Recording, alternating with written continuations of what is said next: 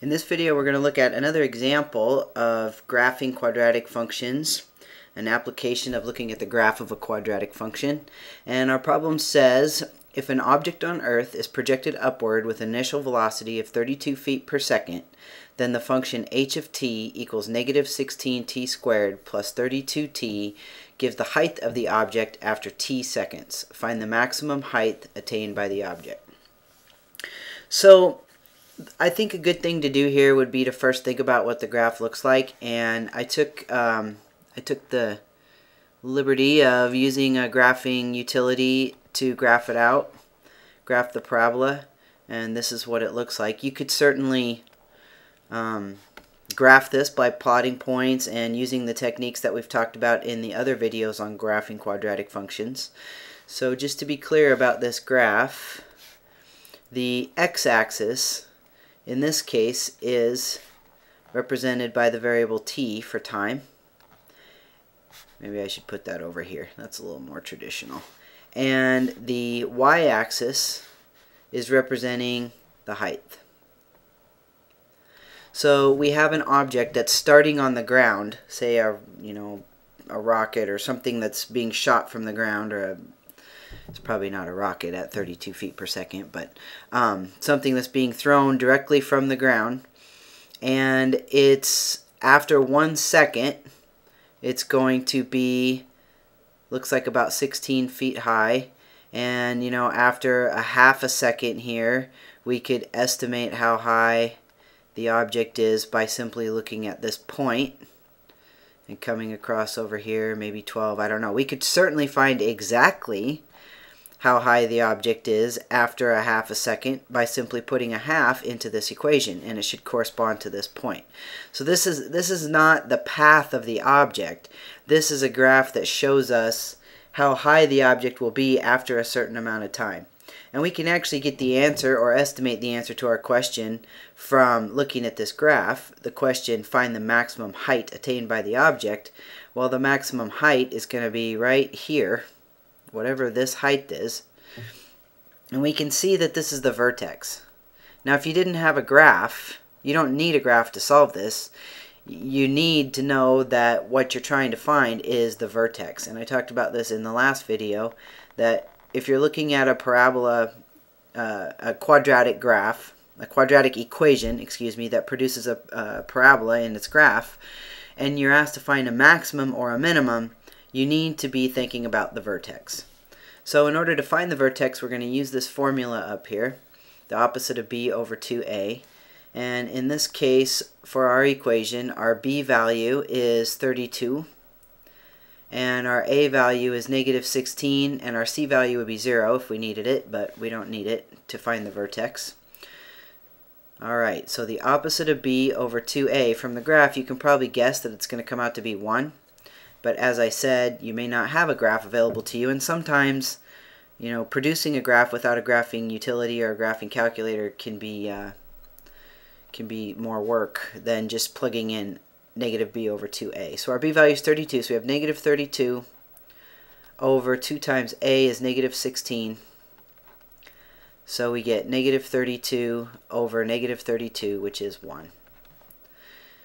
Now, from the graph, we can see that probably corresponds to a height of 16. Again, you may not have the graph, so in order to find the height, you're just going to plug in one second into this function. We know that after one second, it's going to reach its maximum height.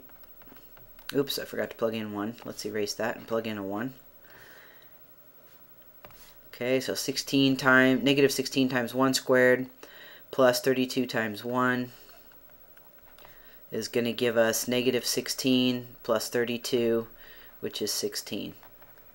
So from this information, the vertex 116 tells us that after one second, that the object is going to reach its max height of 15 feet, or excuse me, 16 feet.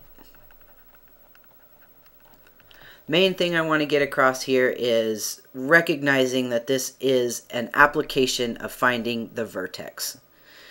Alright, let's look at another question about this problem.